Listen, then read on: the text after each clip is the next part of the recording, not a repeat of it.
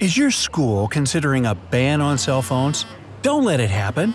Your hands will get twitchy. What are you going to look at and listen to all day? The teacher?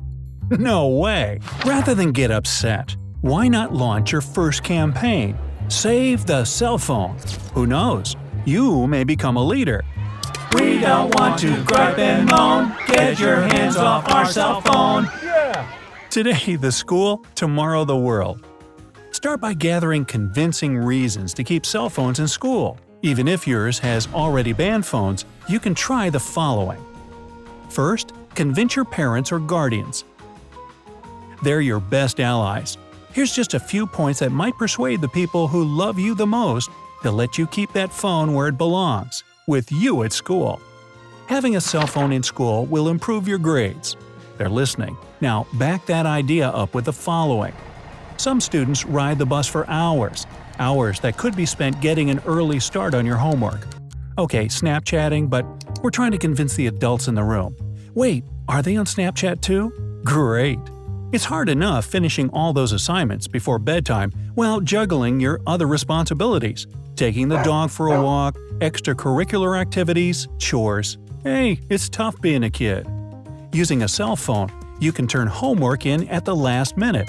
You won't always do that, but tell your parents you want to be graded on what you turn in, not when you submit. Remind them that when colleges see your transcript, they can't tell the difference between grades that meant you left your paper at home and those that mean you weren't learning. Don't stop there, keep it going. You can practice reading and writing as it'll be in the future. The methods you learn in school should remain applicable in 20 years when, instead of writing cursive or hauling around heavy books, we'll be typing book reports and reading online. Wait, aren't we already there? Exactly. Also, when you leave your cell at home, mom sometimes mistakes it for her cell phone and takes it to work. So she misses messages from her clients all day and instead gets texts from your friend Emma. Karen breaking up with Jake is pretty major news, but mom's a tad bit more concerned about staying in touch with her business contacts. And your phone gets lonely. Like a kitten that needs to be petted, or a puppy longing to play, your cell phone yearns for attention. It breaks your heart to think of it sitting all alone on the shelf, vibrating into the void. Okay, maybe not that one. But if you had your phone, Dad could text you when he's going to be late picking you up, which is like always. With a cell phone, instead of waiting in the rain, you could study in the nice, dry library. Remind your parents how overprotective you are. If you know when to expect Dad, you won't worry so much. Also, you can text Dad if the baseball game you're playing runs into overtime and extra innings. He still might be able to make it. You can let Mom know that the lead in the play got sick, so you and the rest of the cast are being let out of rehearsal early. Winning campaigns are inclusive. Ask your parents if they have any ideas they'd like to contribute. Next, convince your teachers using everything you told your parents plus. Okay, you'll need to get all scientific. Grab a clipboard and say this. Auditory and visual learners can benefit from recording the class on their cell phone. Ask your teacher before you film them. For that matter, ask anyone before you take pictures or video of them. But there's no denying that some kids retain more information by listening to a recording than reading notes.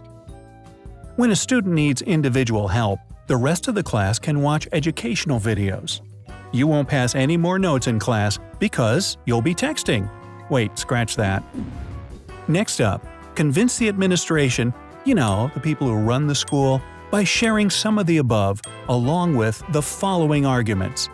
Having cell phones at school increases student vocabularies by helping them learn cool words like deterrent. A deterrent is what stops someone from doing something. I'll give you an example later. The whole student body will excel in national exams.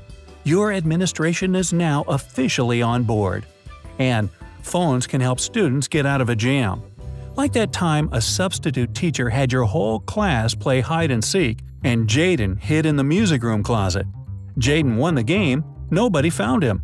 But Jaden couldn't collect his prize because the door to the closet got jammed. Then the band started practicing. Jaden yelled and pounded on the door, but even though the whole class was looking for him, No one heard him over the drums and tubas. Luckily, Jaden had his cell.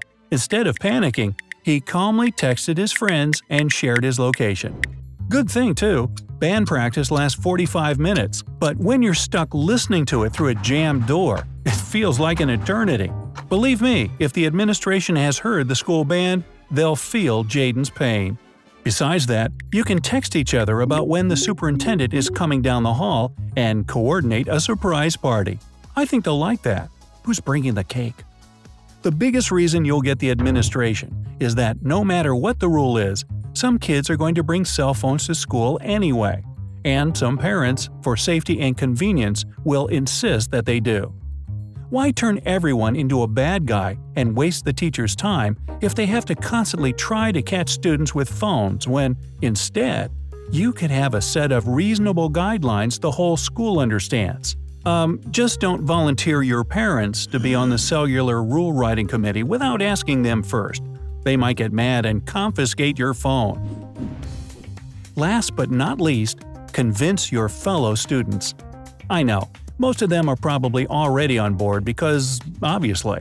But you want to make sure they're fired up. You can't win this fight alone. You need your friends campaigning with you, so remind them what's at stake. Amy can talk to Kim at lunch, even though Kim's homesick that day.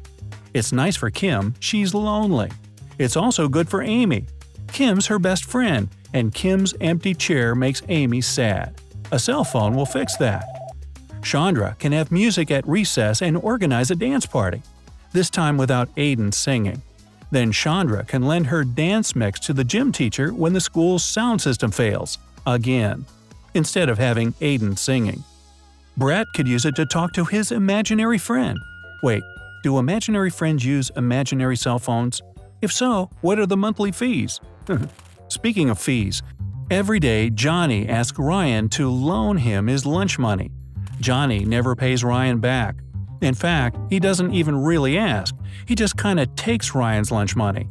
Johnny, that's rude. But he doesn't care, and Ryan feels like telling the teacher would be useless. You know why? Because Johnny's one of those guys that always gets away with it. He can turn on the charm, or the tears, Johnny can convince any adult that he's innocent. But the next day, Johnny wants money again. What can Ryan or any witnesses do? Record the whole thing on a cell phone. You know, to help Johnny remember. With the camera rolling, there's a good chance Johnny won't want Ryan's money after all. In this case, Ryan's cell phone is not just a record keeper, it's a deterrent. Hey, there's that SAT word. After all, if the mystery meat in the cafeteria scares Ryan, he can use his phone to order in. And what about poor Reese? He broke his arm, and now he can't climb at recess. And climbing is his favorite thing. Recess was once the one part of the day he looked forward to the most, but it's now just 30 minutes of boredom and disappointment. With a cell phone, Reese could play games with his good hand instead of staring at the jungle gym and, well, you get it. Just like Reese, you can watch a funny video to cheer you up when you're having a bad day, and you won't get caught passing any more notes in class because you'll be texting.